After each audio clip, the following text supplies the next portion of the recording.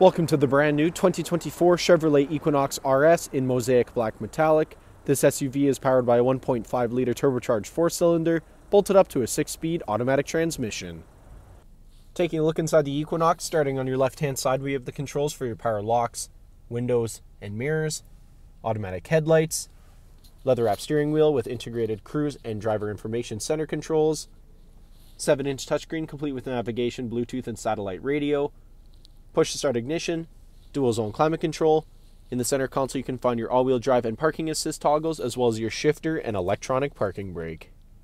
Taking a look at the exterior of the Equinox, starting off with the 19 inch dark Android aluminum wheels paired up with Hankook Kinergy tires. Moving right along, we have paint matched door handles, Equinox badges on the doors, paint matched mirrors. Around the front of the vehicle, blacked out bow tie in the center of the grille, RS badge in the grille as well, LED daytime running lights and headlights, Back down the side of the vehicle, this SUV is remote start equipped and has keyless entry. Rear tinted privacy windows with black trim all around. Roof rails are installed. At the back of the vehicle, we have the blacked out Equinox, bow tie, all wheel drive, and red RS badge, all on the hatch. Heading back inside the Equinox, back seats here are car seat ready and easily collapsible in the 60 40 split, allowing plenty of access to your trunk. Cup holders come down here in the middle. And in the center console, we have two USB charging ports.